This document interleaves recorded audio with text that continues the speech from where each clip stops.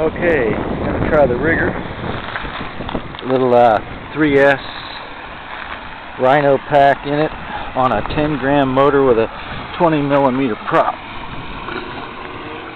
Four and a half ounces all up weight.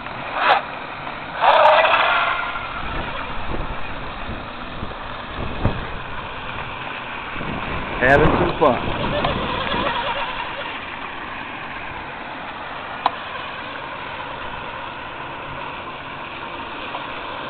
Does have a turn fin.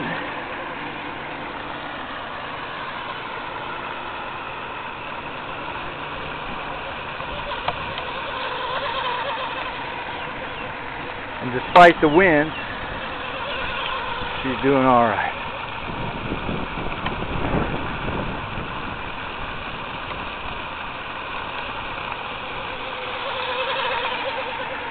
Runs way up on the prop and uh, I'm trying to imitate a big hydro look and still.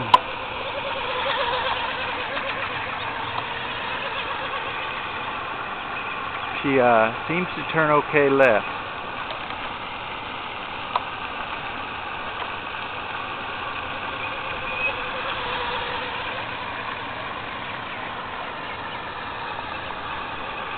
Try to keep it in the ball game here